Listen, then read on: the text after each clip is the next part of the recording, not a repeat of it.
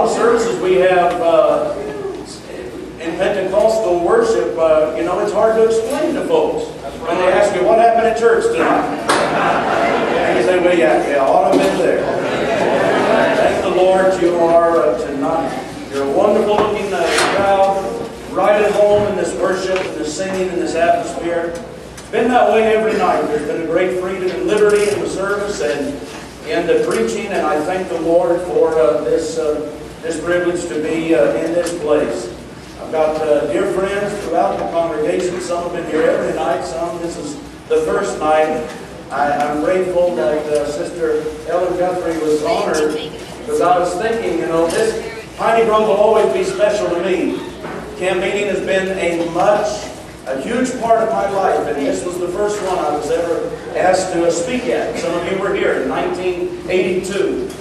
But the 1982 camp meeting was not the most defining camp meeting in my life. It was the 1978 camp meeting in the Oklahoma Conference. When a man named Clayton Guthrie came to Oklahoma and preached like I'd never heard anybody preach. I was a 17-year-old Timothy and I needed a Paul in my life at that time. And I heard one that week and uh, Brother Clayton Guthrie preached and every night and my daddy led the camp meeting choir. And they did it again in 1980, and those are memories I would not uh, take anything from them because uh, uh, those uh, defining weeks of camp meeting, those two weeks especially, helped mold me to uh, uh, the ministry that I'm involved in today. And I've asked the Lord this week, let this be a defining moment, a defining camp meeting for some of us even in this place. The last two nights especially have been special, I think, in the in the ministry of the word of the Lord and around the altar. I've asked the Lord, do it again, do it again tonight. Um, the first time I came to North Carolina, some of the communities told me Friday night was grocery night. Did you ever hear that? Is that true in your community? Well, that's why you're here. You've come to get some groceries.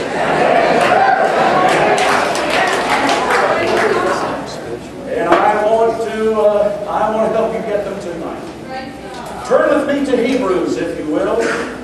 For you that are just joining us in this camp meeting, we've been trying to obey the Lord and walk through the New Testament. We started with the Gospels. We spent some time in Acts and Paul's epistles, but tonight I take you to a glorious book in the New Testament, the book of Hebrews. I'm going to read from chapter 11 tonight, and I want to start reading in verse 32. Hebrews 11 and verse 32.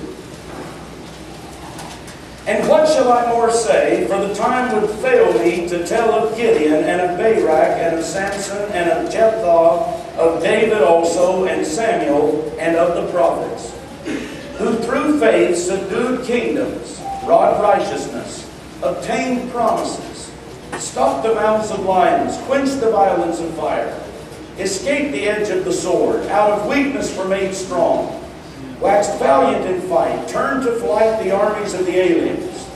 Women's received, women received their dead raised to life again, and others were tortured, not accepting deliverance, that they might obtain a better resurrection. And others had trial of cruel mockings and scourgings, yet moreover of bonds and imprisonment. Stoned, they were sawn asunder, they were tempted, were slain with the sword.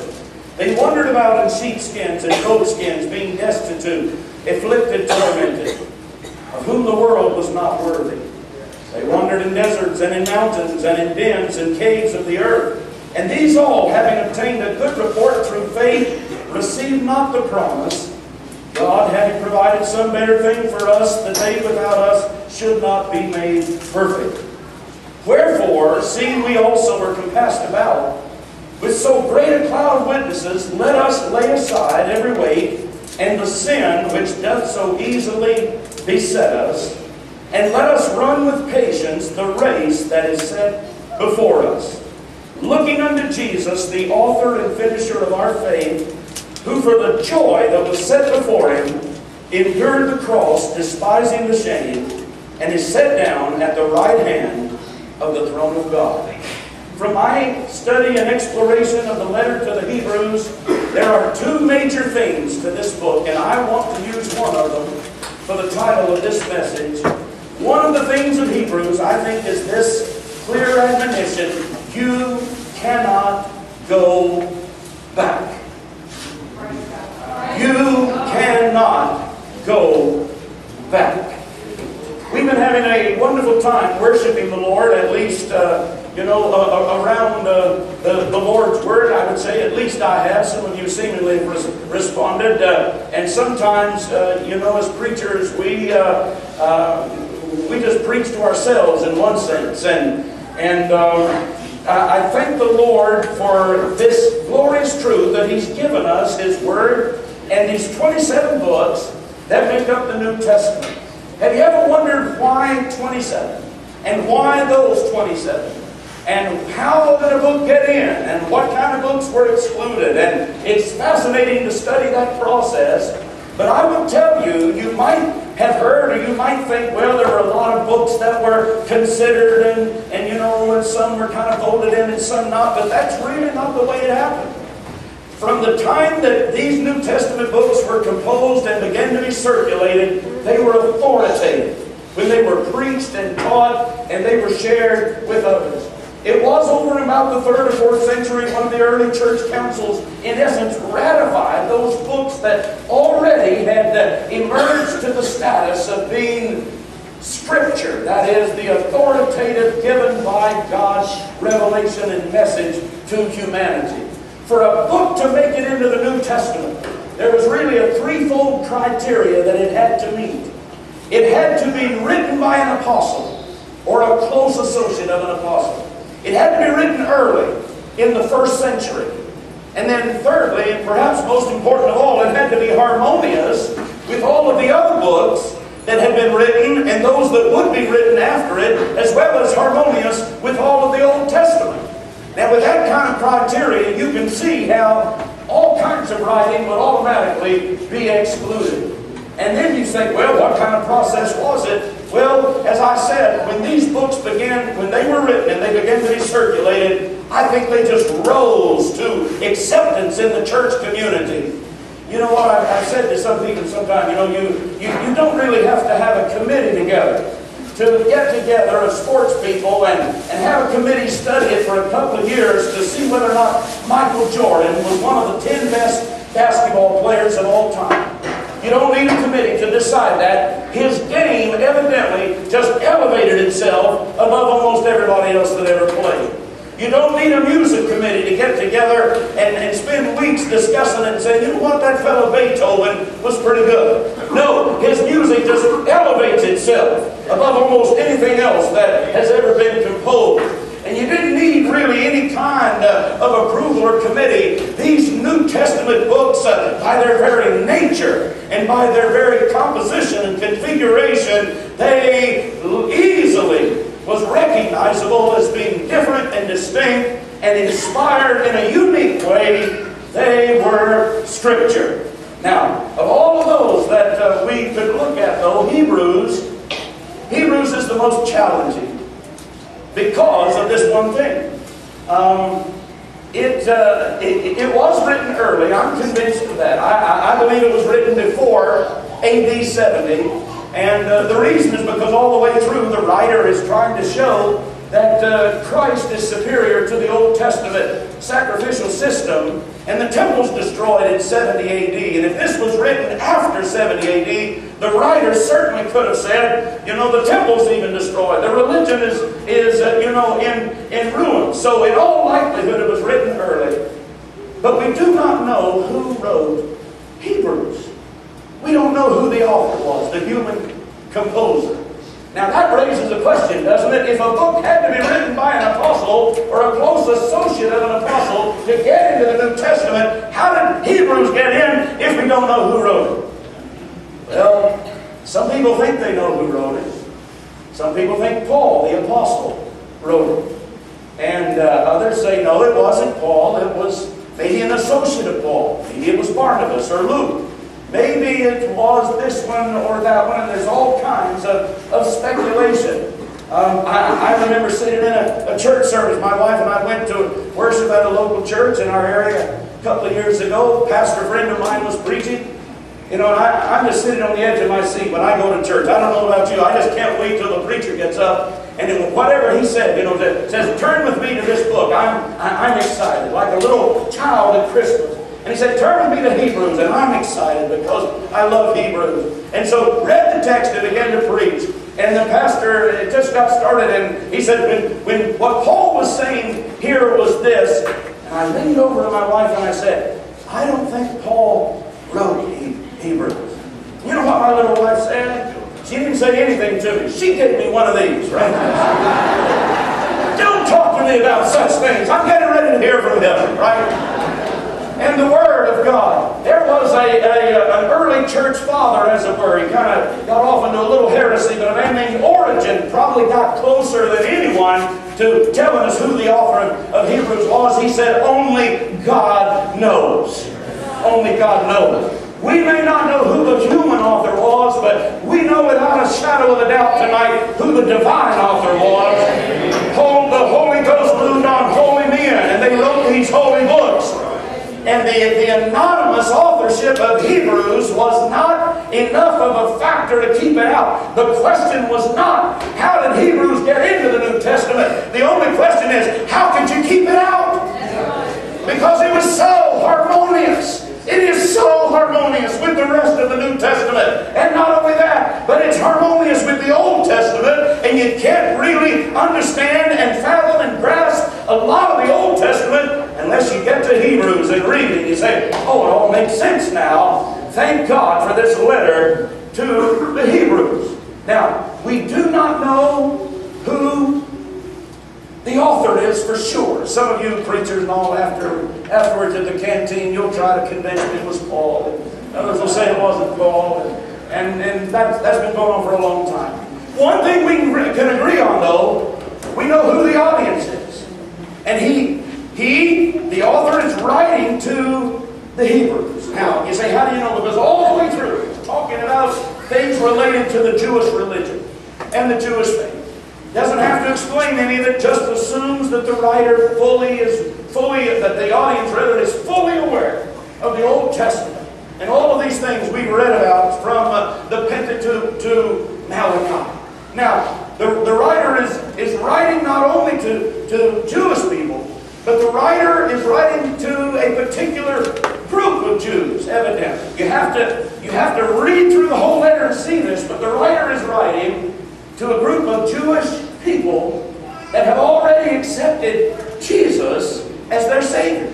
They have embraced the Christian faith. They have said yes to the good news of the gospel of the Lord Jesus Christ.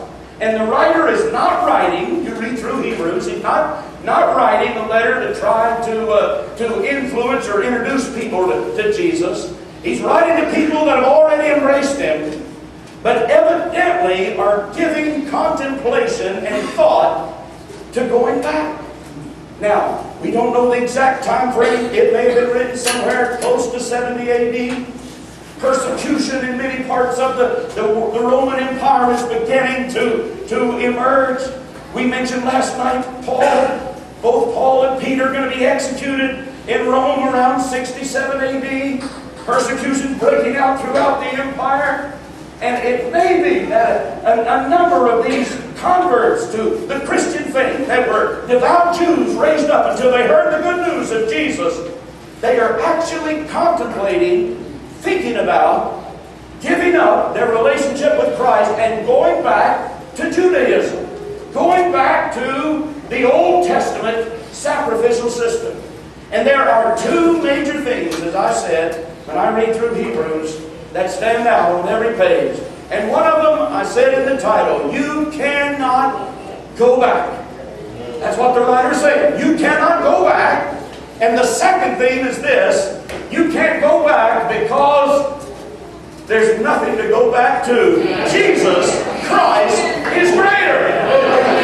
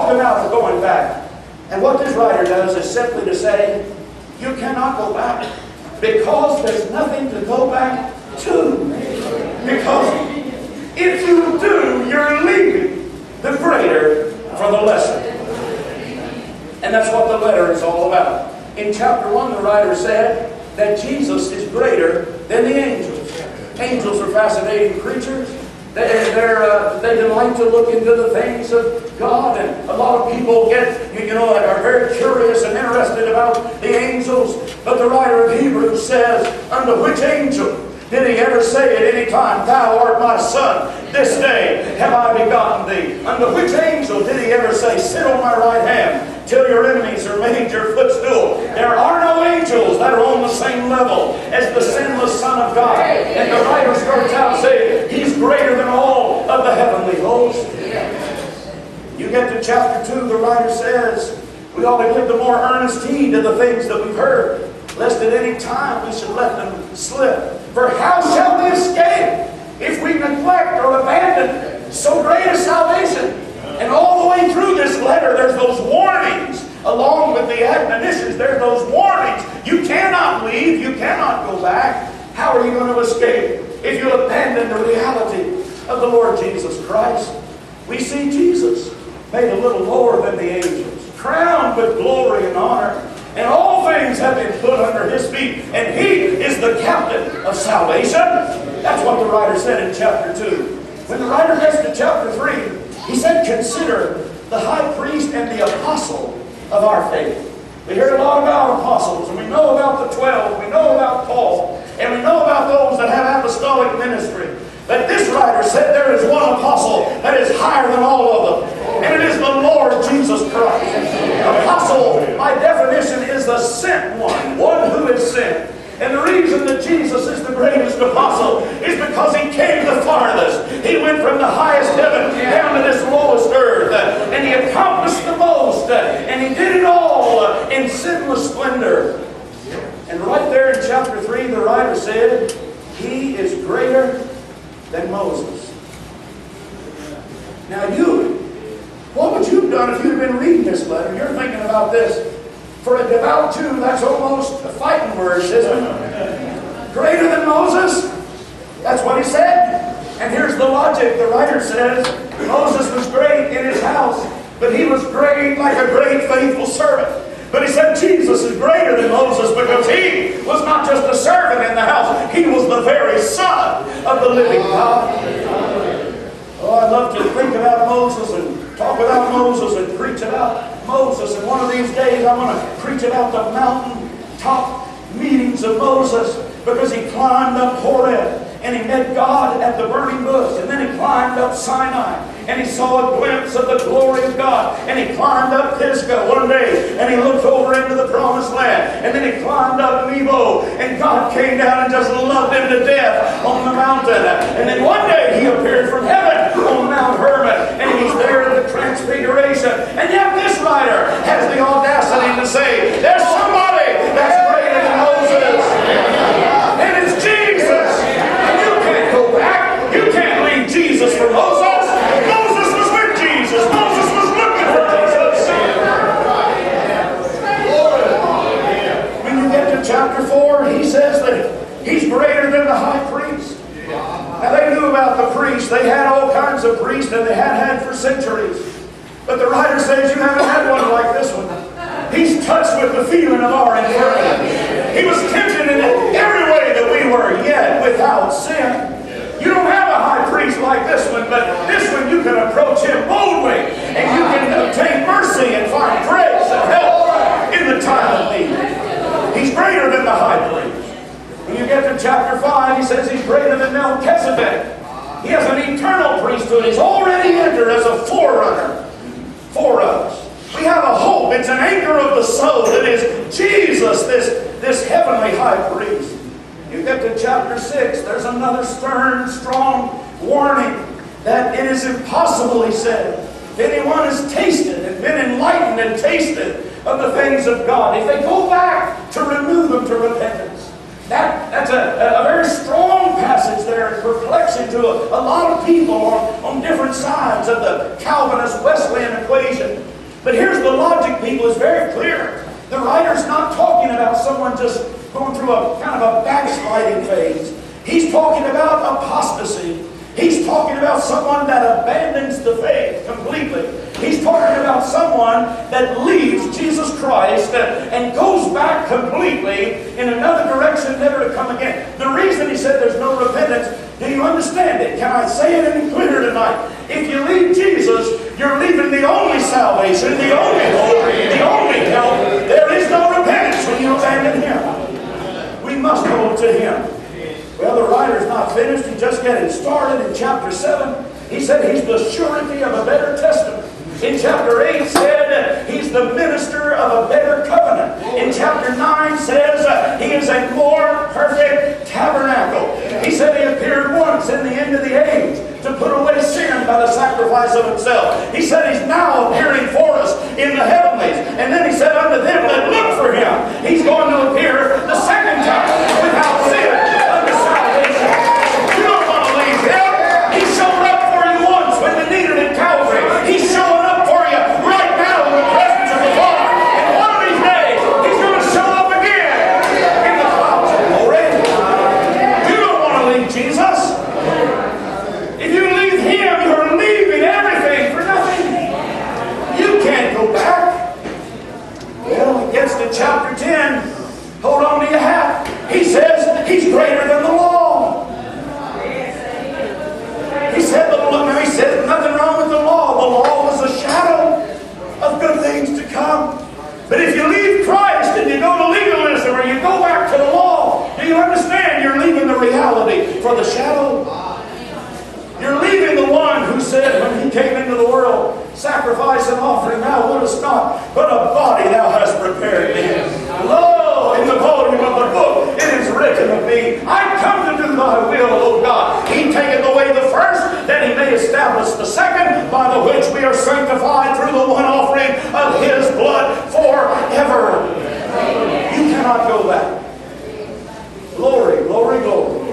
Well, if I was reading for the Hebrews for the first time in 68 or 69 AD, you know what? After I read through all that letter, I'd be worried about going back, wouldn't you? He's greater than the angels. He's greater than Moses that brought you up.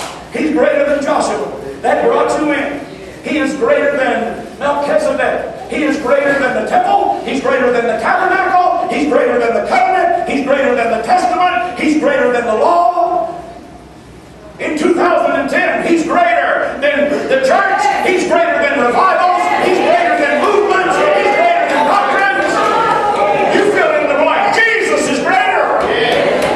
Don't leave him for anything. If you do, you're leaving the higher for the lower. You cannot go back. So finally, you get to the end of chapter 10.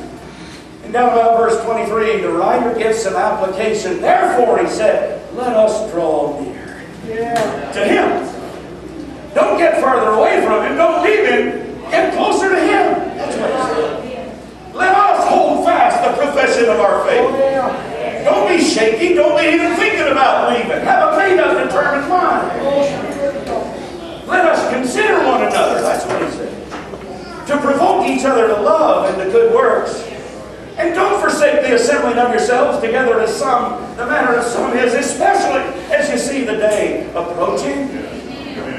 Then the writer said, The just shall live by faith. But he said, Those that draw back, he will have no pleasure in them.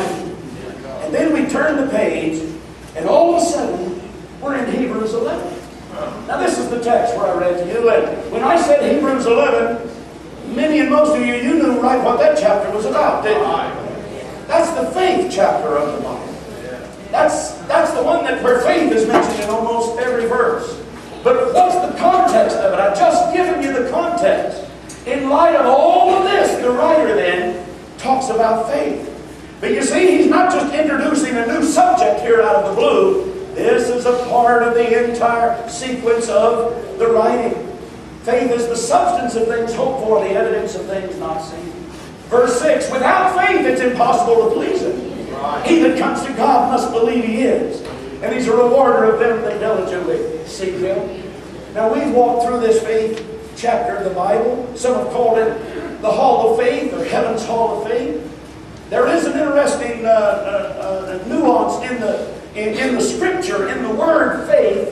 The Greek word pistis can be translated in many occasions, and I think for the most part here as well, not only as faith, but faithful or faithfulness. And so when you read through this text, it's not just by their faith, that is their trust, but by their faithfulness to the promises that God gave them. And so when you first start reading through Hebrews 11, the analogy is like a museum or a great gallery.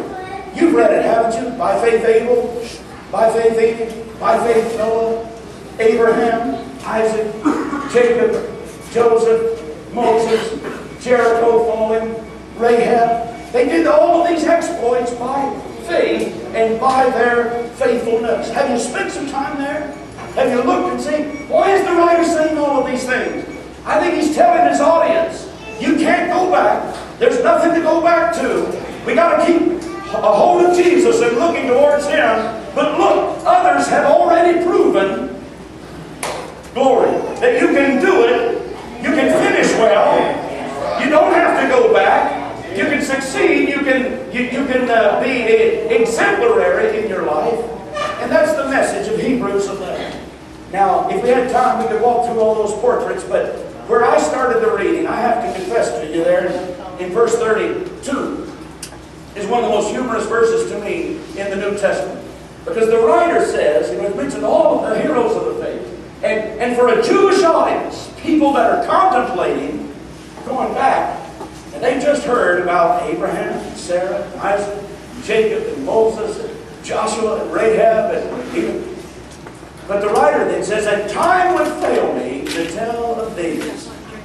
And just starts mentioning Gideon, and Balaam, Jephthah, Samson, David, and Samuel. You know what's humorous to me?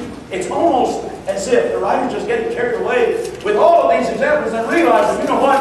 I got to draw the line somewhere. It reminds me of a, of a pastor, uh, you know, preaching on Sunday morning. They've already told you they had five points in the sermon, but all of a sudden, a little before 12, they look at their watch and they've only covered one or two points. And they say, let me just throw in the others here at the end. You say, well, that's not what happened. I think it is because he says, I mean, you know, and time fails me to tell about David. He threw King David in with Jephthah. Nobody thinks it's funny but me. All right. It's a tough crowd at Piney Grove tonight, but that's all right. Just, time would fail me to tell about. And the writer realizes I can't call every example by name. I can't mention them all by name, but said, I can tell you about them by companies. And so he said, and then there, there was a great company, mentions the first company. This group stopped the mouth of lions, quenched the violence of fire, waxed valiant in the fight. This first group won every battle, they won every fight. They didn't have a spot or a scratch or a scar or a stain upon them. And they were victorious and vigilant and valiant.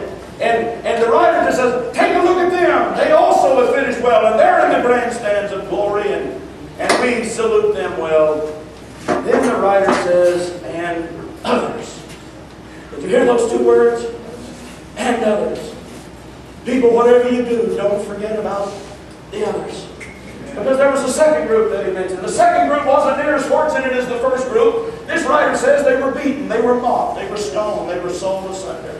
They were made destitute. They were made to be vagabonds. They, they, uh, they were persecuted. They were beaten. They, uh, they uh, were, made as, uh, as the dregs of the earth. But you know what the writer said? He said this second group had the same faith and the faithfulness as the first group. And he said, of whom the world was not worthy. You know what that's telling me? It's telling me it's some through the water and some through the flood. And it's some through the fire, but it's all through the blood. And there's, there's sometimes the Lord takes us out of suffering, but there's other times He takes us through suffering. And whether you get delivered out of it or whether you're triumphant in it and through it, at the end of the day, where you want to find yourself is a place in the heavenly grandstands of glory, like the Hebrew writer saw moves right out of chapter 11 into chapter 12 and says, Wherefore, for because of seeing we're encompassed with such a great cloud of witnesses. Who are these witnesses? Evidently, it's who we've just been talking about. Those who have been the overcomers. Oh, it's not just Abel and Enoch and Noah and Abraham and Jacob and Joseph, but it's that company that, that waxed strong and valiant and triumphant. And then it's also the martyrs and those who are faithful in suffering. But he's saying to the readers, look at them. Look at them. People who already run their race. They've already finished. They've already stayed true to Jesus. You don't want to go back. You want to win like they did. And take your place in the heavenly grandstand. And then we get down to the last two verses of the text I read to you, and that's the application part. Since we're encompassed with such a great cloud of witnesses, the writer said, let's lay aside every weight and the sin that does so easily beset us. And let's run with patience the race that is set before us, looking unto Jesus. He's the author and the finisher of our faith. Who for the joy that was set before him, he endured the cross. He despised the shame. And is set down at the right hand of God. Not only can you not go back, people, how many of you found out? We don't need to be looking back either. It's impossible to run when you're looking back. David Livingstone said, I'll go any direction for God as long as it's forward. And I believe that ought to be the battle cry of every child of God. We're to run this race. We're to run this race with patience. And this is what that audience needed. And I think it's what this generation needs to know as well. How many of you have found out? You got to have a made-up mind if you're going to see this thing through. You and I are going to need some stick-to-itiveness. I know that asks, is that a word? If it ain't, it ought to be. Stick-to-itiveness, determination,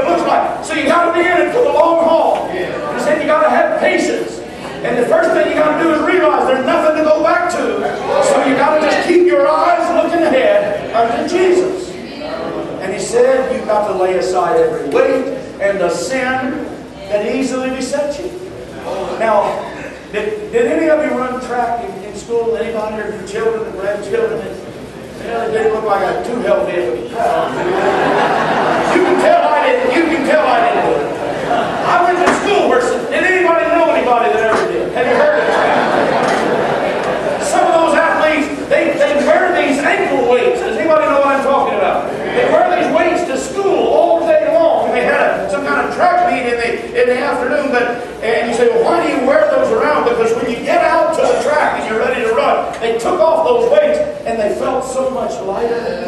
Listen, I think there's a principle there coming from this text. The secret of running right is running light.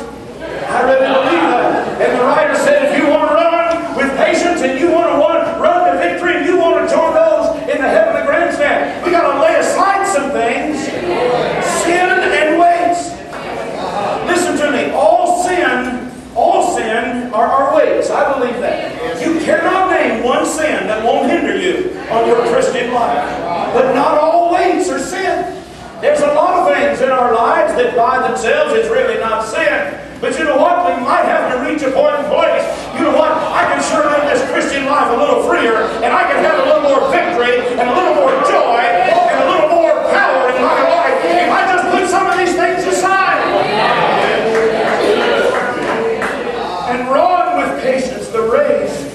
that is set before us. Looking unto Jesus. Now this is significant to me. Did you catch it? The writer has shown them, he went way back even to Abel and Enoch and Noah, before the Jewish race began, but then Abraham, Sarah, Isaac, Jacob, Joseph, Moses. But the writer is very clear. You don't run your race looking to them. You run the race looking to Jesus. Amen. We cannot run the race even looking in the crowd. Cannot, cannot run the race looking in the crowd. Got to keep our eyes upon Jesus because He's the author and the finisher of our faith. He not only designed the course, He came down and lived it and showed us how to live. And He finished His course with great victory. He endured the cross.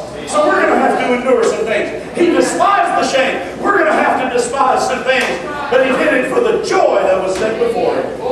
And He finished and He sat down at the right hand of the majesty on high. So the writer writes on a couple more chapters, but that's the message of Hebrews. You cannot go back because there's nothing to go back to. And I ask you tonight in Piney Grove, does anybody have a made-up mind like that? I'm in it for keeps. There's nothing to go back to. I'm, uh, I'm in it for keeps. Now, I want to end with some illustration applications. I've given you the Bible, the theology, the truth of the Scripture, but I want to do just what this writer did. He gave the theology, the warnings, and the admonitions all the way until he got to chapter 12, and then he introduces the analogy of the race that they were all familiar with. Hundreds of years before Christ, Olympic Games were taking place in the in the palestras and cathedrals and coliseums, and, and so the audience is very well aware of that. And I want to, to just leave you with a couple of illustrations of application for us in light of this message from Hebrews. I remember as a boy, I didn't watch, haven't watched much in the last several years of, of Olympic uh, game competition on television, but as a boy, I remember some scenes that I saw unfold in those kind of uh, contests that have indelibly been kept upon my mind.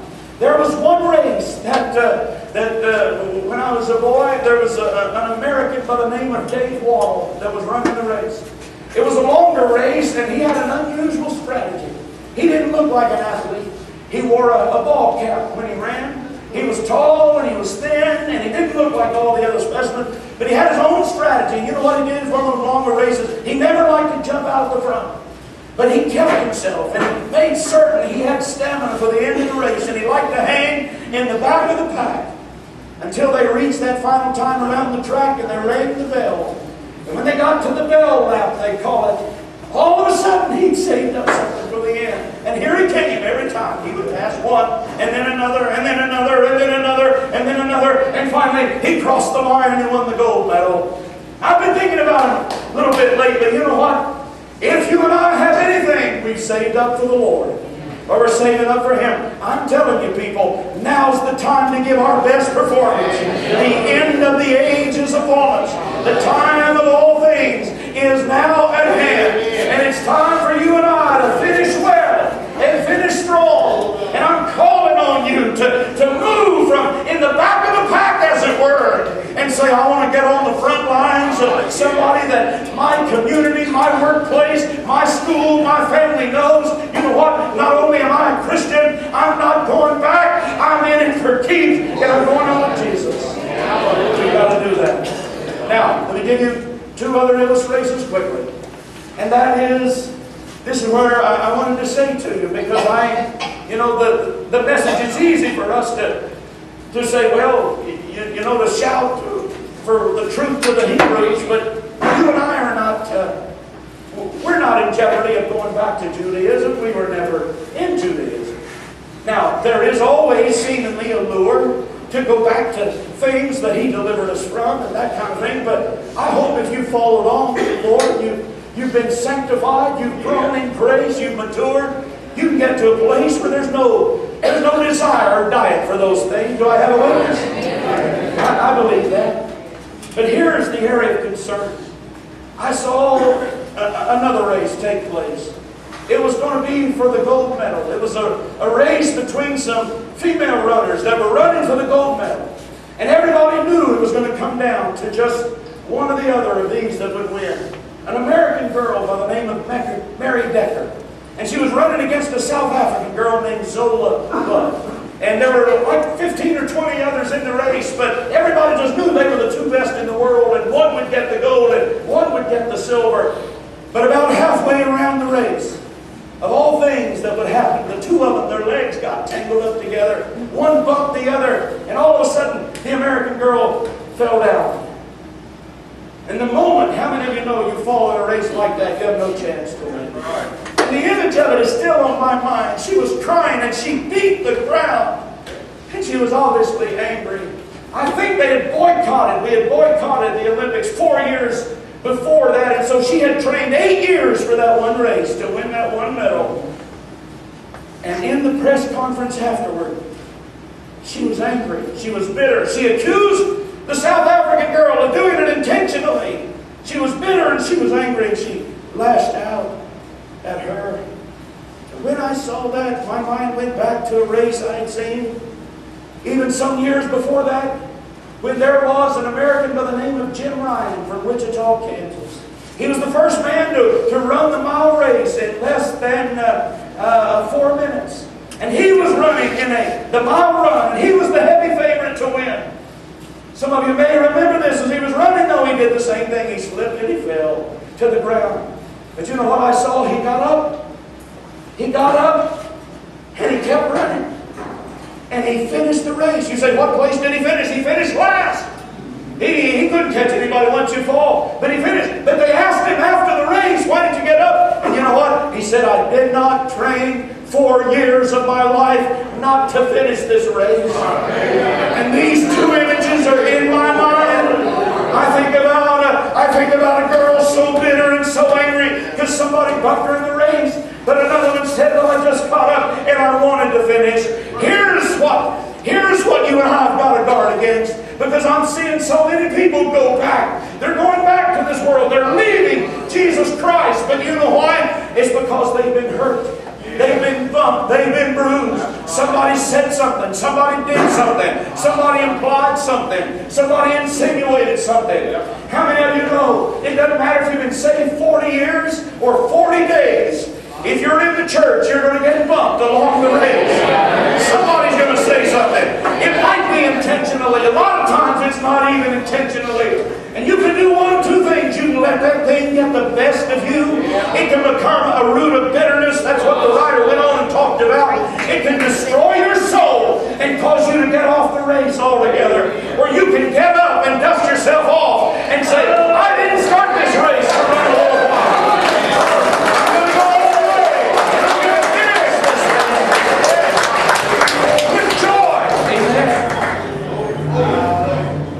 One last illustration and then I'm finished. This one was more recent, just maybe a dozen years or so ago, and some of you may have seen this one. Shorter race. This was just kind of one of those that's 20 or 30 seconds around the track. But once again, it was the gold medal race. And the gun sounded and they took off around the track. And there was a young man, I believe was from Great Britain. And of all the things to go wrong for him in the middle of the race, his hamstring, he pulls his hamstring and he clutches the back of his leg. And the moment he does that, you know he doesn't have a chance to win. But he had that same spirit that Jim Ryun had, and he had that same spirit that I'm ex- exhorting you to have to, to finish this thing well. And so he uh, he's clutching the back of his leg, and he's trying to finish. He's still maybe 20 or 30 yards away from the finish line, but he's obviously anguished in pain. And the other runners are just about to cross the line ahead, but he's trying to finish. But all of a sudden, some of you may have seen this. All of a sudden, an older man breaks out of the crowd. And he comes and he runs out there on the track. And the moment it happens, you think, oh no, is this a, a terrorist incident? Is this some kind of foul play? But security is letting through. And this older man puts his, his arm around him and he kind of helps him along and, and they, they just kind of end up just slowing down to a pace, but they, they continue to walk and together, arm in arm, until they cross the line, and the young man collapses in his arms. And it's not until after the race we find out who it was. It was the boy's father. The boy's father is sitting up in the grandstands watching him. But he's seeing the son that's got a made up mind, that's trained all these years to win this race and to finish well. And when he sees